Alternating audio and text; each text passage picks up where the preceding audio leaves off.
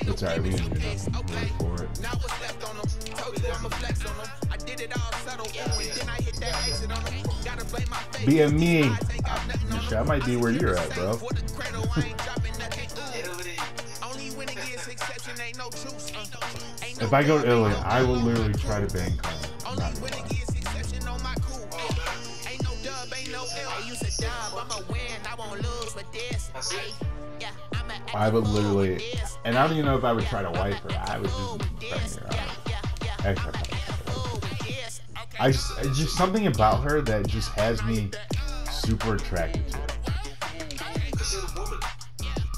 That's a woman. yeah.